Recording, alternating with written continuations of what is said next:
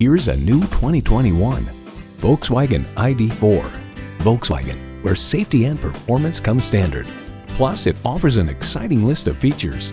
Energy regenerative brakes, dual zone climate control, integrated navigation system, auto dimming rearview mirror, heated steering wheel, Wi-Fi hotspot, streaming audio, hands-free liftgate, memory exterior door mirror settings, and automatic transmission.